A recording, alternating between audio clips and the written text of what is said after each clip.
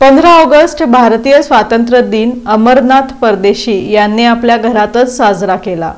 चौऱ्याहत्तरावा भारतीय स्वातंत्र्य दिन अमरनाथ प्रतीक्षित परदेशी यांनी घरातच साजरा केला. आधी जनगणमन राष्ट्रगीत म्हणून नंतर अमरनाथ परदेशी यांनी स्वातंत्र्य दिनाच्या शुभेच्छा दिल्या आणि कार्यक्रमाची सांगता केली. यावेळी अथर्व परदेशी आदर्श परदेशी यांची उपस्थिती होती.